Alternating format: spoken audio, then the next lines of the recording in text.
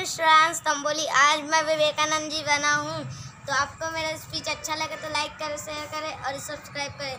जब तक आप खुद पर विश्वास नहीं करते, तब तक आप भगवान पर विश्वास नहीं कर सकते। Thank you